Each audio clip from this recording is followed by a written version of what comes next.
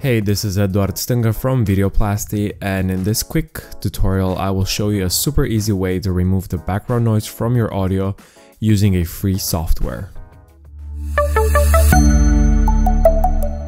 Alright, so let's get started. First things first, you want to download a software called Audacity.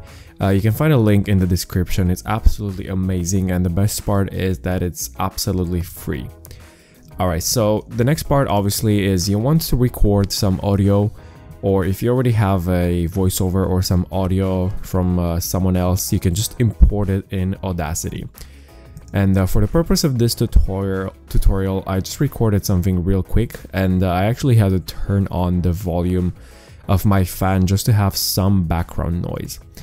But I can't stress this enough, it's super important that you have a super high quality file and uh, you can do that by using a high quality microphone. For example, in my case, I'm using the Blue Yeti microphone, which is absolutely amazing. Uh, but to be honest, uh, this is the closest thing I've seen to Magic.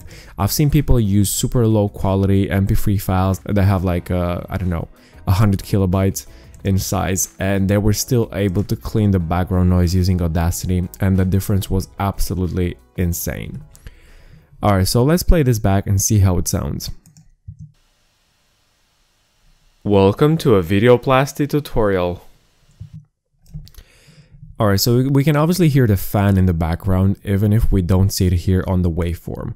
So the first thing you want to do in Audacity is you want to instruct the software that this right here is the type of background noise uh, that you wanted to analyze and then remove from the whole thing.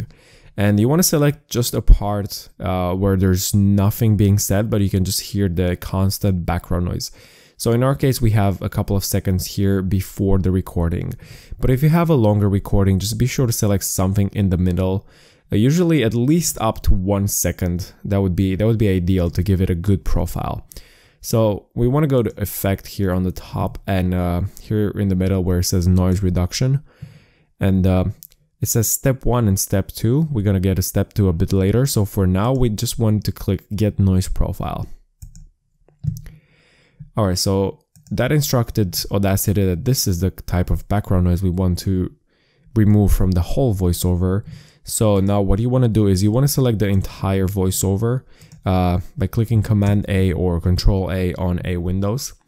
And we go to Effect again, Noise Reduction.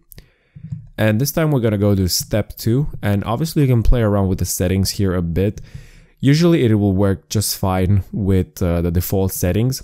And uh, if you want to change one of the settings, basically, you would just touch the first one, to be honest, uh, and instruct Audacity how much background noise you want it to remove, depending on how loud it is. If you slide it all the way left to zero decibels, it will not remove anything and uh, the voice will sound exactly the same. And the more you slide it to the right, it would it will remove more of the background noise. However, you have to be really careful with this because if you slide it to the right, it will it will also start removing sounds from the actual voiceover and uh, the voice will just sound really weird. So yeah, for, for the purpose of this tutorial, I'm just gonna, you know, leave it say around 15, that should be fine. So let's click OK. Alright, now let's play it back and see how it sounds. Welcome to a Videoplasty tutorial.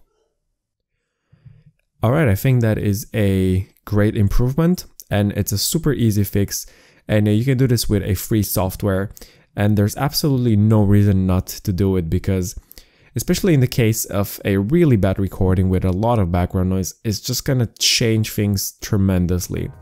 So yeah, I hope you enjoyed this tutorial. Be sure to hit the like button and uh, subscribe to this channel for more videos.